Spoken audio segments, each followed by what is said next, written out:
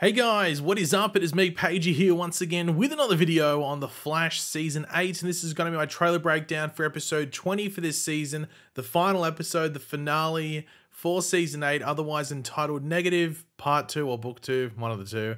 Um, but yeah, before we get into anything else, let's actually watch this trailer for the finale. Iris died in my arms. She's been erased from this timeline. You want revenge? Finding ways to kill you is my life's work. This has to end. Good luck. Who's faster now, Flash? The Flash, season finale next Wednesday at 8, 7 Central, only on the CW. So the first thing I do want to say is thanks for everyone that did watch the trailer breakdowns this season. They, they are definitely one of my favorite videos to do just because you get excited for the next episode. You can sort of theorize what's going to happen. Of course, it sucks a bit when you you know you're not getting an, an overall, you know, an overly amazing episode coming your way the next week, but they're still fun to do like 90% of the time. So yeah, I do want to thank everyone that watched them throughout this season. And of course, we will be back for season nine because we got the renewal notice. So yep, I'll see you then in regards to the trailer breakdown side of things. But of course, last episode was the penultimate episode, which pretty much, you know, planted all the seeds needed for this week's finale. But the main stuff that happened is that we had the negative forces show their cards or just show up in general, which, you know, we theorized in various videos that was actually going to be the case, that they were going to play a part in the back half of this season or, you know, towards the end of this season. They were in the episode more than I thought they would. I thought it'd be like a minor cameo borderline sort of thing, but yeah, they actually played a really significant part within this episode. Don't know if that'll be the case in this finale, but in regards to episode 19, they were, you know, playing a pretty big part. But of course, in regards to combating against the forces, we see Barry teach Mina how to give some of her speed to the good Eobard that was partnered with Mina. He gets into his OG, you know, reverse flash suit. But throughout the episode, we think that the Thawne at the beginning of the episode that was taken by Dion or aged rapidly and killed by Dion, that he was the sacrifice. However, all along, throughout this entire thing that's been going on with Iris, she has been the sacrifice by the negative Dion and we see her be put in front of uh, Barry's lightning bolts. She is hit, she is killed, and she fades away into the still force particles, which then go into the you know the OG Eobard Thawne with the Welsabard one, the Tom Cavanagh looking Thawne, which was killed earlier in the episode, ripping the skin off of the OG Eobard or ripping his head in half, whichever way you want to put it, and emerging from it and just chucking the remains on the ground and he just thanks Barry for I think he said resurrection. I think in my uh, in my review I think he said revival, but I think in the episode he says resurrection. Maybe rebirth would have been the better thing to say. But anyway, he thanks Barry, and that's where we cut to black, and we have to wait for you know the, another week for the finale to air to get the payoff from all of that. So obviously that's one of the crazier endings the Flash has ever had, not just for this season, but ever. Like it'd have to be for me, it's probably top three, but for most people, I'll be surprised if it isn't top five. But um, yeah, before we get into the actual breakdown of the trailer, we will quickly read out the synopsis or description for the episode, just to go through you know what we usually do. But of course, throughout the video, be sure to let me know in the comment section down below your various thoughts, theories, um, predictions, expectations, just what you're looking forward to most in this finale, Always curious to hear what you guys are thinking, especially for an episode like this. And of course, if you're going to enjoy the video, you're looking forward to this episode, and just want to show your support, and you've enjoyed this season of The Flash for the most part, especially this back bit, uh, want to drop a like on the video to do all that. With the Flash still reeling from everything that just happened, the rest of the team rallies to support him when he needs it the most. So yeah, when the synopsis originally came out, we were like, oh, I wonder what he's going to be reeling from. And I was like, oh, maybe it's just something big that happens, like, but not big, big, but just like, oh, okay, well, maybe Thawne comes back or something like that. Which is what happened, but to a horrifying, in, in like a horrifying way or to like horrifying detail in regards to like ripping the other Thawne, which Barry sort of got close to, ripping his head in half or ripping his skin off in order to re-emerge. And then, of course, the main thing, I guess, is that Iris supposedly dies. So, yeah, Barry's going to be dealing with a lot when we pick up with him in this episode. And I would assume that this episode is going to pick up right where we left off last episode. Because usually when they do that whole like to be continued, you pick up right where you left off. Like it's as if like the episode never ended and we just went into a long ad break. So, yeah, I think it's going to be tense when this episode starts.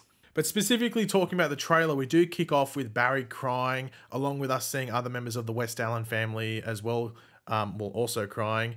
And this is obviously like once Barry tells them what happened to Iris. Now, firstly, he says that she died in his arms, But then also when it looks like he's specifically talking to Bart and I'd assume Nora as well, that she has been erased from the timeline. That's what he says to them. So that makes you really wonder whether, like, early into the episode, they believe her to be fully dead. But then maybe they realize that she was just deleted from the timeline, and there is this tiny chance to bring her back if things go exactly the way that they want them to, or like their plan goes exactly the way it needs to. Like the only way that I can see that the iris that was hit by lightning that we saw at the end of last episode and faded away, the only way I can see that she comes back is if Thawne is killed and the particles or erased, whichever way you want to put it, but regardless, killed or erased, whichever way you put, want to put it, and the particles that brought him back, which came from Iris, then turned back into Iris. I think that is the only way that it could make some sort of sense if Iris was to come back, at least the Iris that we knew. But then again, maybe I'm missing something and they could have another way to explain it as to how they could bring it back. I guess we'll have to wait and see. But just going into the episode, the only way I can see that it makes sense that she comes back is if Thawne is killed and the particles that originally left her leave Thawne to then make her again. I don't know. If you have any other theories in regards to how she can come back, let me know in the comments. But in regards to Nora and Bart, we do see them line up alongside Barry and Mina here, and you have to assume that they are lining up against Thawne. Now, throughout the trailer, we do see Thawne in the yellow, well, new yellow reverse flash suit like we saw in Armageddon, and like we saw at the end of last episode when he xenomorphed himself out of the other Thawne's body or head. You know, at least like ripped his skull in half to emerge. Anyway, once again, what the hell was that? Crazy, but just crazy in the best way possible. So good. Like, I'm only recording this trailer breakdown about like an hour after I recorded my review, and I'm still coming down from that crazy ending. But yeah, you'd have to assume they're going up against Thawne here, but it makes you wonder whether they're going to be of any use and like they might have to resort some, to some like other means in regards to helping them out. We'll have to wait and see, obviously, I guess. Now, we do have Cecile saying that Barry wants revenge, and it really makes you wonder how far Barry will go, you know? And like, will we get like bully Barry Allen? I know we have like bully Peter Parker, but or bully Tobey Maguire, but will we get bully Barry Allen? Will he go as far as he possibly can to the point where we're like, oh, Barry wouldn't do that? Because it really makes you wonder. Because obviously, if you remember back to season three with Savitar, Iris was killed, but in that moment where he was emotional and holding Iris, it's revealed that it was HR. So you never got to see the full on aftermath of like direct aftermath in regards to what Barry would do to Savitar in, in order to like get back for what he did to Iris. Here we are seeing that. So I'm very curious to see how far Barry gets, how angry he gets, and just to what level he would try and hurt, if not kill Thawne. You know, we're seeing pretty much what we could have seen in season three if there wasn't all that, you know, swap with HR.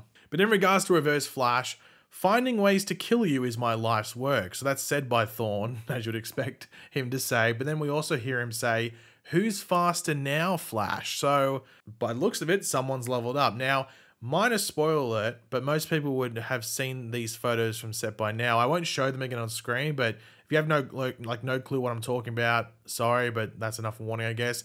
But we, of course, did see Thawne in that different suit towards the end of this season. So, this new suit from Armageddon that he was wearing at the end of last episode and throughout this trailer, it appears that this will only be like earlier or maybe like the first half or first third of the episode. And I've believed since those set photos that came out with him in the new suit that the other suit he wears is like a result of him maybe absorbing the other negative forces. So maybe he becomes like a full on negative reverse flash, and that's when he says like who's faster now flash because he's gained more powers and potentially more more speed. Now, whether the absorbing of the other forces is agreed upon by those other negative forces is another question. Like that could be another horror type scene where he turns on them and pretty much feeds off them in order to become even more powerful. But you would also have to assume that if Thawne takes on those other negative forces, he gains their abilities as well, unless they just want to make it that he just gains all the negative, you know, tachyons and everything from them or whatever it might be, or just the negative you know energy, whatever it might be. So Still Force powers, you know, Strength Force powers and Sage Force powers combined with his negative Speed Force would be ridiculous. And you got to it's important to remember like the Still Force or negative Still Force powers are just overpowered by themselves. So them alongside the Strength, Sage, and obviously his Speed Force as well. I mean. Barry would be in for one hell of a battle if that is exactly what goes down. Like I definitely wouldn't want to be on, you know, the other side. I wouldn't want to be in Barry's shoes or any of the good speeds to shoes if that does go down. But it also makes you wonder if Thawne can sort of take control of the other th- of the other negative forces, maybe it, it releases the other good forces, and maybe they can give some of their energy to Barry. So Barry also has some of the of the uh, of the still strength and sage. Always it's three S words. It's always like a bit of a struggle to remember them. But maybe it gives them a bit of a you know energy boost from them, so he has some use of those powers as well, where maybe they can counter Thawne's abilities. I'm not too sure, but I think going into this finale, we should expect Thawne to be at least him be overpowered. But in regards to Thawne, is this the end of him? Now we've brought this up here and there in this back half. And I honestly think it could be. If I had to make a choice as to whether it was the end of Thawne or wasn't, I would say that it is the end. And my main reason would be it just feels like the build up to the end of this story. But then when it was said that this, storyline for the end of this season was originally written as the final story ever for the show, as if season eight was the final season, that sort of supported my choice even more. But maybe the renewal for season nine changed their final choices for certain things in the finale. I don't know, but yeah, I, I just think this could be the end for Tom Cavanagh's Thawne at the very least. Maybe they do a reverse Flash origin thing next season, which could include either Matt Letscher's Thawne or like a younger actor in the role as well. That's for us to wait and find out. But I think in regards to Tom Cavanagh's Thawne, I just think this could be the end. Now, of course, this is a finale. This is a season finale. So, what do you expect right at the end of a season finale or towards it? Cliffhangers. Now, I think they've pretty much already set up one of them in in season uh, in episode 19, and that was involving Caitlin. There was this one quick scene shows her going into the cryopod. We don't see her coming out. I think the cliffhanger is going to be that the subconscious maybe with Frost works, but Caitlin herself gets powers and maybe Frost takes over. So they're trying to get that little bit of Frost out of her subconscious so they can sort of take from that and rebuild a body for Frost. I have a feeling they are going to rebirth Frost, but the the bad, the really bad version of it, and it might take over Caitlin completely, and that involves obviously Caitlin or just Killer Frost taking over that body, which gives her powers. I think that could be a cliffhanger heading into season nine. Not saying it's 100% going to be the case. That's just my opinion going into it. But there's definitely going to be a cliffhanger revolving around that whole Caitlin Frost thing. And my theory is that it's Killer Frost takes over Caitlin's body. That's just mine. Um, but also a villain for season nine. You'd have to think that's another cliffhanger. That could be Killer Frost. Maybe that's the case there. Now the thing is, is that it's very important to remember the Bloodwork thing that was teased in the final issue of the Earth Prime comic series that said that it would continue over into season nine. So, for those that don't know, in the final issue of the Earth Prime comic series, right at the end, Bloodwork escapes Argus, and they said that that story is going to continue into season nine. So maybe they have a scene in this finale that's maybe not a recreation of that, but maybe it's something that connects to it. Whether it's a call from Cisco, whether it's a visit or call from Diggle because he's still connected to Argus that says that Bloodwork escapes, or maybe we legitimately just see Bloodwork show up. It could be something like that, or we see the Argus building and Bloodwork emerges from one of the doors. Something along those lines. That could be it. I don't think Bloodwork's going to be like a main villain for season nine, but they could do something where you see multiple villains come back for season nine, which could include Bloodwork, Killer Frost, maybe, amongst some other people, and maybe it's a bit of like a rogues type thing. I guess we'll have to wait and see, but that could be one cliffhanger leading into season nine if they want to do a villain thing, but then again, they could show us a main villain like another evil speedstar or whatever it might be. We'll have to wait and see. But of course, one of the other things that was revealed like a like a month ago, roughly, or something like that, for the finales that we are getting a mystery cameo. Now, it could it be the bloodwork thing? But I don't know if that's really a cameo. That just seems like more of a cliffhanger thing. Um, but yeah, once we begin like a mystery cameo. Now, this could be another speedster, like a new good speedster, like a Max Mercury. They did name drop Max, and you know that was connected to the Still Force and everything like that. So maybe it could be him. We haven't seen him before, but if he shows up in like a comic book accurate suit, then like you know fans of the comics will be able to pick him out straight away, or just people that watch the show that have looked up Max Mercury before. It could obviously be another hero from the Arrowverse that we usually don't see on the Flash, like maybe like a Superman would be really cool that a lot of people think it could be.